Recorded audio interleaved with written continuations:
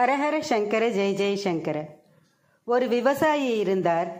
அவருக்கு ஒரு பூதத்தை எப்படியாவது வசப்படுத்தி தன்னோட எல்லா வேலைகளையும் அதை செய்ய வைக்கணும்னு ஒரு வேண்டாத ஆசை வந்தது. அதுக்காக அவர் நிறைய பயிற்சிகள்லாம் பண்ணினார். மந்திரங்கள்லாம் ஜபிச்சு ஒரு பூதத்தை வரவழைச்சிட்டார்.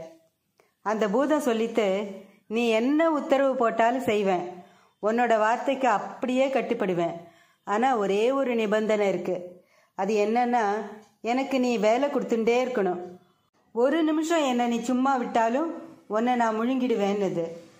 விவசாயியும் அவ்வளவுதானேன்னு நினச்சி சரின்னு ஒத்துண்டார். அந்த நிபந்தனையை மனசில் வச்சுட்டு பெரிய பெரிய வேலையெல்லாம் செய்ய சொன்னார். ஒரு பெரிய மாளிகை கட்டுனார். ஒரே நாளில் அந்த பூதம் மாளிகையை கட்டி முடிச்சுட்டு அந்த விவசாயிக்கிட்ட வந்து அடுத்த வேலை கொடுன்னுது. அப்புறம் தரிசா கிடந்த தன்னோட நிலம் எல்லாத்தையும் புல்லு வெட்டி உழுது போட சொன்னார். அதையும் ஒரே நாளில் செஞ்சு முடிச்சுட்டு திரும்பி பூதம் விவசாயிக்கிட்ட வந்து ம் அடுத்த வேலை என்ன? சீக்கிரம் சொல்லுன்னுது. இது என்னடா பெரிய வம்பா போச்சு? இந்த பூதம் எனக்கு எஜமானன் மாதிரி என்ன மிரட்ட ஆரம்பிச்சுடுத்தேன்னு நொந்துண்டார் விவசாயி. ஆத்துலேருந்து என்னோட வயல் வரைக்கும் வாய்க்கால் வெட்டுன்னு சொல்லிட்டு அது திரும்பி வரதுக்குள்ள ஒரு முனிவர் கிட்ட போய் தன்னோட கஷ்டத்தை சொன்னார். முனிவரும் அந்த விவசாயிக்கு இறக்கப்பட்டு ஆலோசனை சொன்னார். ஒரு மரத்தூணை கட்ட சொல்லு. அடுத்த உத்தரவு வர வரைக்கும் பூதம் அது மேலே ஏறி ஏறி இறங்கிண்டே இருக்கணும்னு சொல்லு. அடுத்த வேலை சொல்லவே சொல்லாத. அந்த பூதம் தூண்ல ஏறி ஏறி இறங்கி கடைசியில் களைச்சு போய் ஓடிடும்னர்.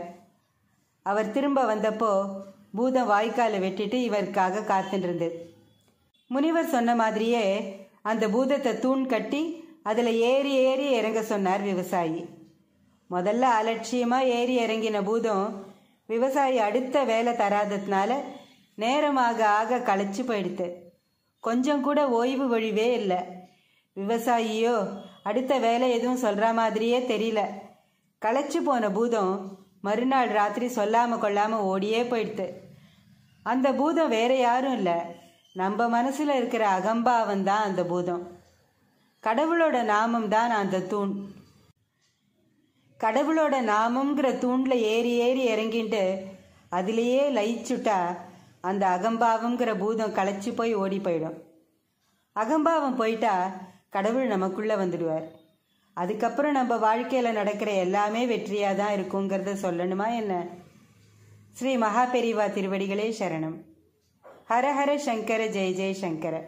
காஞ்சி சங்கர காமகோட்டி சங்கர.